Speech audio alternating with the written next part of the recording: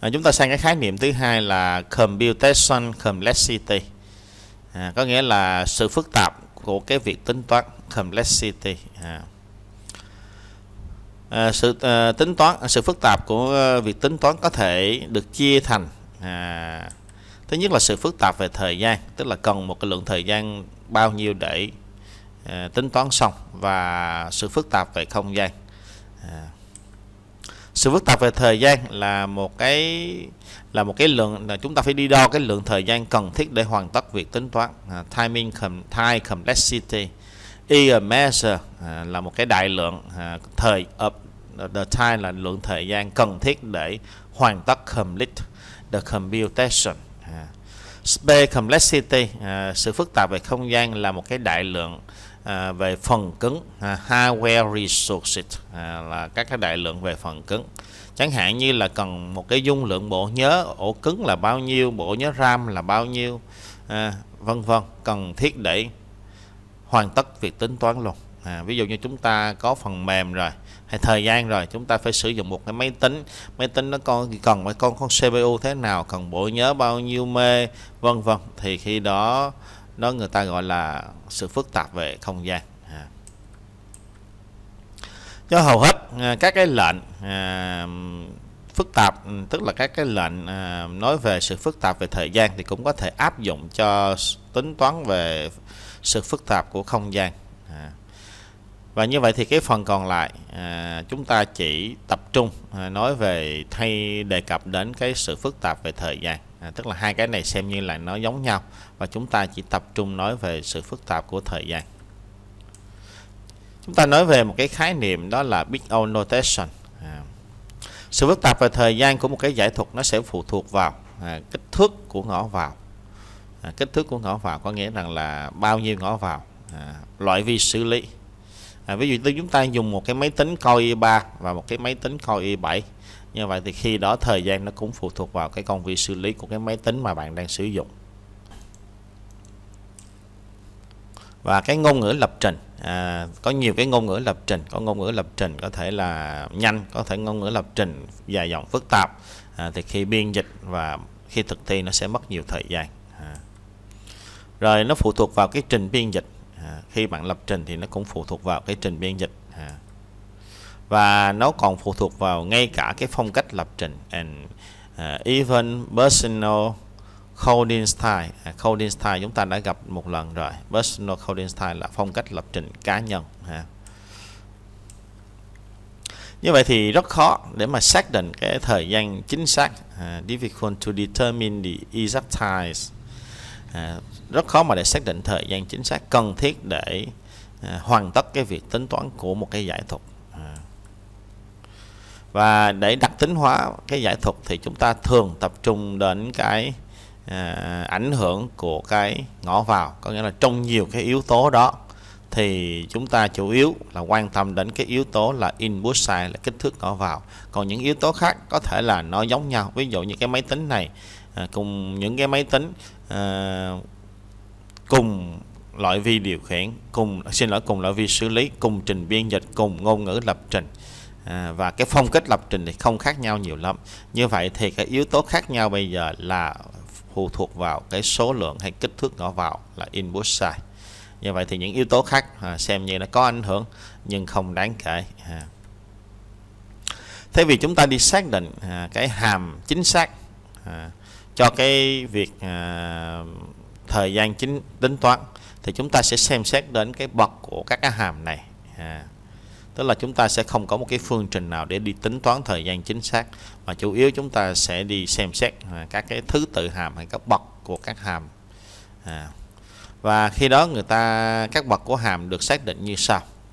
À, người ta chúng ta người ta cho hai cái phương trình given two functions à, fn và gn. À, và chúng ta nói rằng fn là o của gn à, gn và nếu nó tồn tại hai cái hằng số n0 và c có thể được tìm thấy để thỏa mãn uh, can be found to satisfy fn sẽ nhỏ hơn cn cho bất kỳ n và n sẽ lớn hơn n0 à, người ta sẽ đi định nghĩa cái mối quan hệ để tính toán thời sự phức tạp về thời gian thì chúng ta không có một cái phương trình nào chính xác cả và chúng ta sẽ đi định nghĩa à, cái thứ tự của hàm à và cái hàm gn à, à, thường là những cái hàm đơn giản chẳng hạn như là hàm gn xin lỗi hàm n. Hàm n log 2 của n hàm n mũ 2 hàm n mũ 3 hoặc hàm hàm mũ n. Ví dụ à, chúng ta sẽ có à, các cái phương trình như sau. Chấm 1 n mũ 2 n mũ 2 cộng 5n cộng 9 5 100 nhân n mũ 2 cộng cho 1 triệu thì tất cả các này thì hàm lớn nhất của nó là n mũ 2 như vậy thì tất cả những hàm theo sau này chính là hàm O N N mũ 2 à. rồi ký hiệu bit O về cơ bản. À, nó là một cái hệ số tỷ lệ à, essentially à, essentially uh, scaling scaling factor factor là hệ số scaling là tỷ lệ co giãn hay thay đổi hoặc rho rate là tỷ lệ tăng.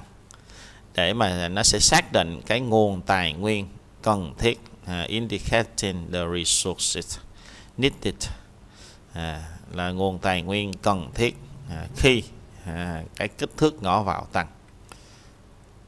Ví dụ như chúng ta thiết kế một cái mạch giải mã hai đường sang bốn đường bây giờ chúng ta thiết kế mạch giải mã 3 đường sang 8 đường. Như vậy thì khi đó cái ngõ vào sẽ tăng. Và khi đó cái uh, hàm cái tí cái kích cái lượng tài nguyên tăng thêm như vậy nó sẽ theo cái quan hệ nào theo cái phương trình nào. À, và chúng ta từ từ sẽ rõ. Là các cái hàm mà chúng ta thường gặp uh, commonly encounter uh, order uh, các bậc của hàm mà chúng ta thường gặp là hàm O1 hàm O log 2n hàm ON hàm ON nhân log 2n và hàm ON mũ 2 ON mũ 3 và hàm ON 2 mũ N. À. bây giờ chúng ta sẽ đi khảo sát từng hàm. Hàm ON à, à, hàm này sẽ xác định cái tỷ lệ tăng là tuyến tính indicate the linear growth rate à, rate là cái tỷ lệ rho là tăng tỷ lệ tăng tuyến tính linear và trong đó in with à, cái nguồn tài nguyên tính toán à, tăng tỷ lệ proportion là tỷ lệ với kích thước nó vào. À, như vậy thì hàm ON à, nó sẽ cho biết cái tỷ lệ tăng à, tuyến tính theo kích thước ngõ vào. Hàm O1 à, hay là O1 hàm này có nghĩa rằng à, cái nguồn tài nguyên tính toán computation resources là hằng số a à, constant là hằng số và nó không phụ thuộc vào kích thước ngõ vào. À, có nghĩa rằng là khi kích thước ngõ vào tăng thì cái tài nguyên của nó hay thời gian tính toán của nó không tăng. À. Hàm uh, O log 2n à, hàm này xác định à, cái tỷ lệ tăng theo hàm logarit à, và cái tỷ lệ tăng này chậm khá chậm. À, which, change which change rather slowly? À, khá chậm. Hàm ON mũ 2 và ON mũ 3 thì hàm này xác định cái tỷ lệ tăng nhanh faster growth rate và cái tài nguyên ha cái, cái tài nguyên tính toán cần thiết à, trở nên đáng kể tăng đáng kể. Become more significant. Significant là đáng kể. Khi kích thước ngõ vào tăng à. và hàm O2 mũ N à, nó xác định cái tỷ lệ tăng theo hàm mũ. Exponential à. tăng theo hàm mũ. Và cái việc tính toán à, tăng theo à, cấp số nhân the computation time thời gian tính toán tăng theo cấp số nhân. À, geometrically uh, increase increases. Geo, geometrically à. chú ý rằng à, à, hàm cái tăng cái hàm này là cái ngõ vào tăng một đơn vị. Increase of one in input size có nghĩa là kích thước ngõ vào tăng một đơn vị. Thì thời gian tính toán tăng gấp đôi. Doubles the computation. Increase of one in in both side doubles the computation time. Ví dụ ta đã biết hàm hai mũ n rồi. À, khi ngỡ vào là hai thì à, ví dụ như theo hai mũ này là hai thì hai là hai mũ hai là 4 3 là hai mũ 3 là 8 à, từ 4 nhảy lên 8 4 là hai, hai mũ 4 là 16 8 cấp đôi. À.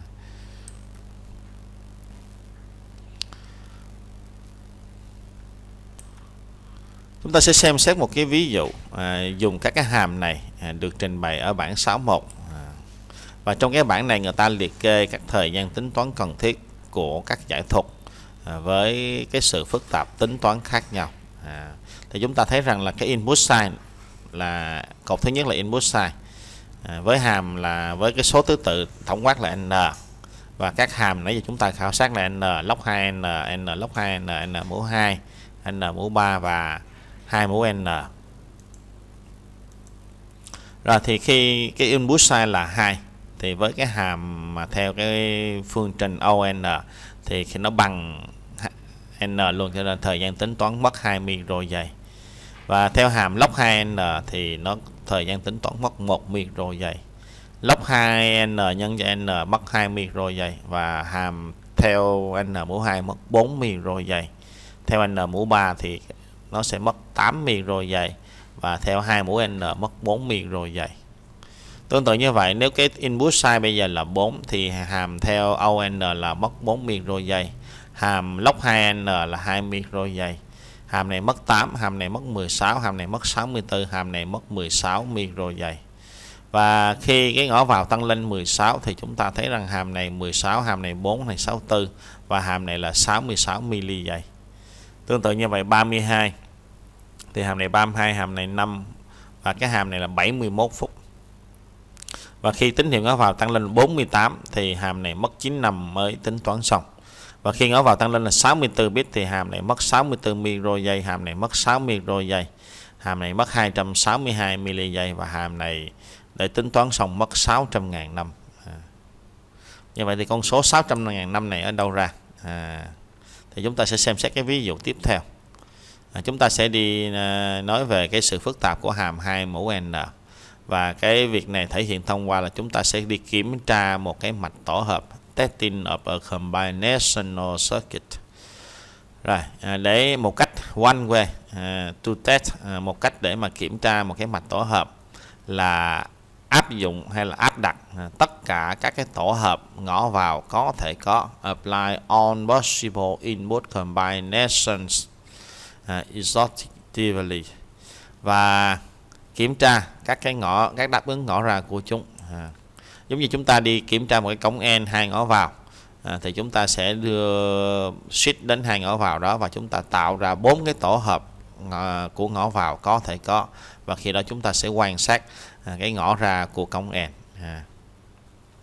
một cái mạch điện với n ngõ vào thì nó sẽ có à, cái tổ hợp của nó là nó sẽ có là hai mũ n tổ hợp à, ngõ vào có thể có.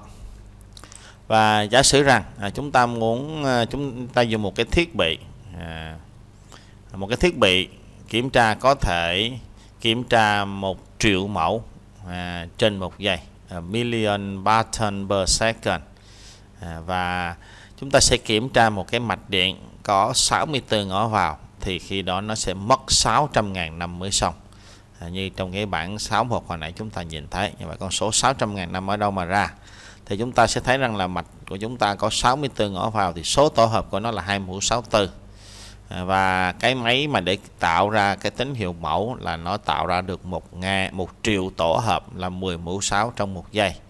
Và chúng ta nhân với 60 ta sẽ tính theo phút ta nhân với 60 nữa tính theo giờ và nhân theo 24 chúng ta sẽ tính theo ngày và chúng ta sẽ nhân thêm 365 nữa thì đơn vị là 5 như vậy thì hai mũ 64 chia cho cái tích bên này thì chúng ta sẽ gần bằng 600.000 năm thì mới kiểm tra xong cái mạch tổ hợp có 64 ngõ vào này. À. thì đây là một cái ví dụ.